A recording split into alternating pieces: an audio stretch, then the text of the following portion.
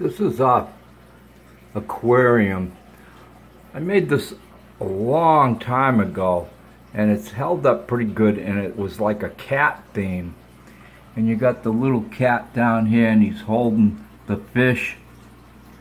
And then my daughter, when she made this out of, you know, in a ceramics class, at a stove, it says cat kitchen. You can see the fish in the oven and he's got the fish like I says. And then there's the chef over there getting ready to cook that fish. And there's a cat that ate a fish. And in the background I cut pictures out from different ads for cats. There's cat litter ads and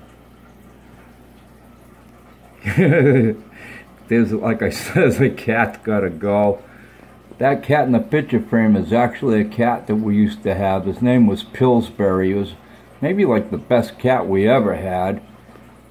He just was such a great disposition. It was Christmas time, the cat coming down the chimney, and, you know, Christmas tree.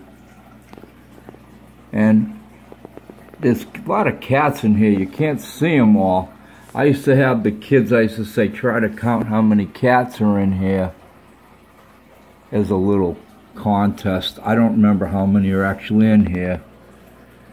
And I mean, it's it's nothing compared to fish, you know, aquariums I see people set up that are really like killer diller. This one here, I'm kind of, I, this new subscriber, he's got all the stuff about aquariums and it made me think I better shoot this one and put it on YouTube because it's not going to be here much longer. My daughter's going to actually take this aquarium to her place.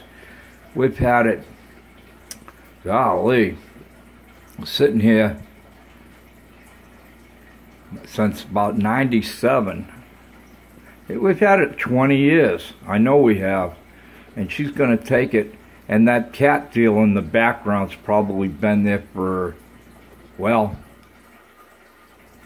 gosh, 12 years.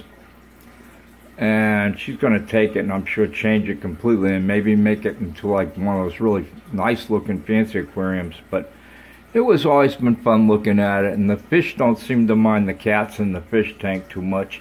And I hope anybody that watches this gets a kick out of it. Thanks for the view and, oh, what could you call this thing? The cat's meow sounds kind of stupid. Uh, normally I could come up with some something funny to say, but I just can't. Anyways, everybody, y'all have a, a good, nice, beautiful, blessed day. Thanks a lot.